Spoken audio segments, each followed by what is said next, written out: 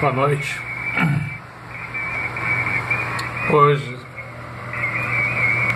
são, eita, são 19 horas e 49 minutos. Aqui, nós, do dia 28 de dezembro de 2015, nós estamos aqui nessa frequência 7162, aqui ó, 40 metros. Aqui tem uma estaçãozinha, deixa eu notar aqui. É 29 de dezembro, estou misturando. Aqui, ó. Cadê elazinha? Cadê elazinha? Tá agora mesmo. Eita, aqui, ó. 7162, aqui, ó. Vamos ver. 7162. Aqui, ó. Papai Romeu 7. É, falou com ela Aqui, gente, vamos abrir, vamos abrir ela para ver quem é que é Gâmbia. Aqui, ó. Uma estação maravilhosa, Gâmbia. Dexista, né? Aqui. Dexista Dora. Aqui com Lotal. Aí a pessoa vem tentando falar com ela. Isso não acontece uma vez, não. Pior que é sempre. É, encontra isso, ó, no rádio.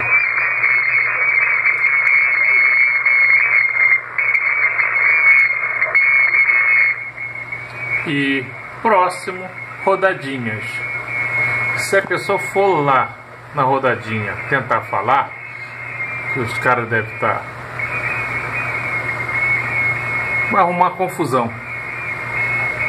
Essa é o sofrimento do deixista. Ao menos que eu saiba, existia um acordo, né? Para que abaixo do 720 eficaz para deixistas. Mas pelo jeito isso não, não se sabe. Aqui, ó. Aqui uma estação de Gâmbia. E aqui a pessoa encontra isso. Não adianta colocar. Não existe filtro que você coloque e os caras, entendeu?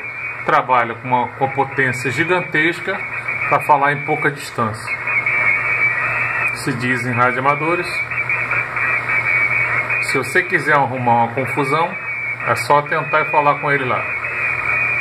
Ok? Papai Yankee 1 Tango Vito, São Gonçalo, Rio de Janeiro, demonstrando aí o que acontece quando você se tentando falar, ou seja, já brasileiro Thiago, da sétima região consegue, longe desse troço aí, consegue.